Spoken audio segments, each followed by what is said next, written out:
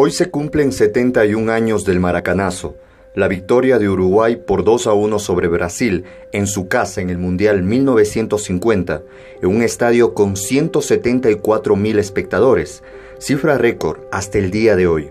El arquero Barbosa, principal apuntado de la derrota, pasó a ser la persona más odiada del país.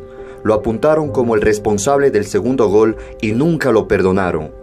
Se retiró llorando y ante miles de insultos en la salida del estadio.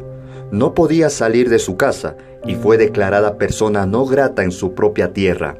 Quiso visitar a la selección que se preparaba para la Copa del Mundo del 94, pero no pudo porque no lo dejaron entrar.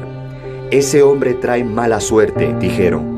Él afirmó en muchas entrevistas, la pena más alta en mi país por cometer un crimen es de 30 años. Yo llevo 45 pagando por un delito que no cometí. Moacir Barbosa falleció en marzo del 2000 en la pobreza y totalmente olvidado por su país. Cuentan que casi nadie fue a su entierro.